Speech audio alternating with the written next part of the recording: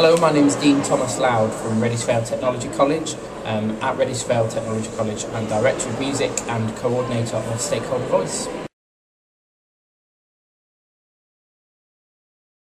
Um, I think with the statistics that were given to us, um, it really drives the point home actually that uh, children from educational disadvantaged, uh, from disadvantaged areas, challenging areas, require um, inspirational leaders um, to to actually drive them forward and, and, to give them that passion and that aspiration. Really, I think the statistics definitely drove the uh, um, the point home and, and, and gave the point across.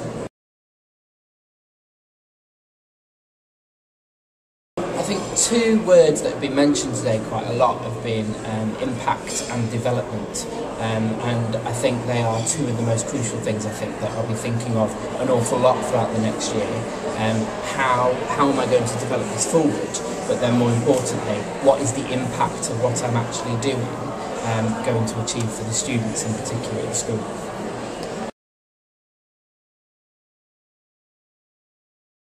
I think meeting other uh, inspirational middle leaders, um, people who are here with the same agenda um, to inspire, um, to hopefully bring and develop aspirations within children who perhaps have not got that in other areas of, of, of their life, of their community. Um, and so to actually sit down and discuss with people the same agenda that we've all got around the table is, has been really inspiring actually.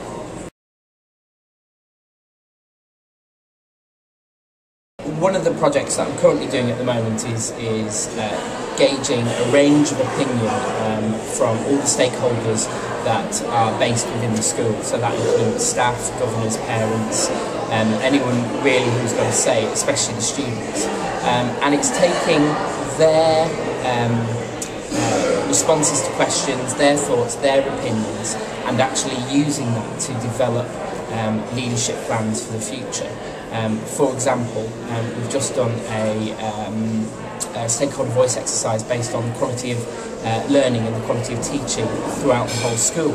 Um, it raised up lots and lots of points, lots of issues where perhaps the curriculum needed focusing on, the curriculum needed looking at. Um, and so it has given me almost like a mandate to go to leadership and say, this is what needs to happen because at the moment, this is how children are feeling.